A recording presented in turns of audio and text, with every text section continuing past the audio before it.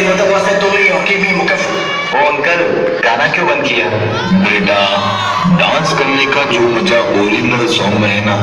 वो इसमें थोड़ा कम है अच्छा ऐसा है तो बजा दियो